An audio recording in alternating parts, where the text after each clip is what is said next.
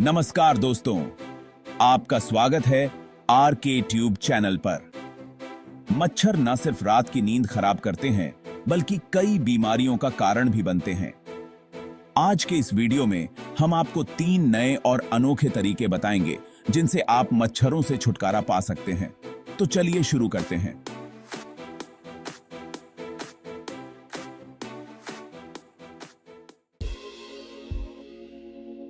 पहला तरीका है कॉफ़ी के ग्राउंड्स का इस्तेमाल। कॉफ़ी के ग्राउंड्स न केवल आपके बगीचे के लिए फ़ायदेमंद होते हैं, बल्कि मच्छरों को भगाने में भी मददगार होते हैं।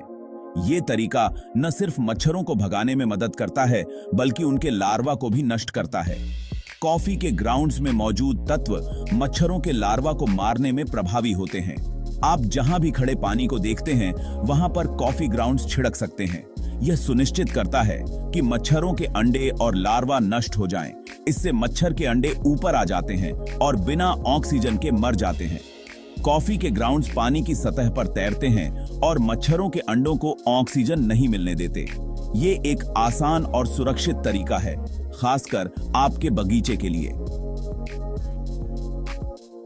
कॉफ़ी के ग्राउंड्स का उपयोग न केवल मच्छरों को भगाने में मदद करता है बल्कि यह आपके पौधों के लिए भी एक अच्छा खाद है। आमसी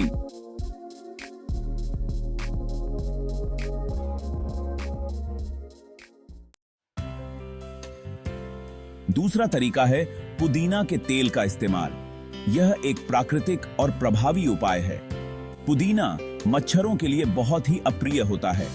इसकी तेज गंध मच्छरों को दूर भगाने में मदद करती है।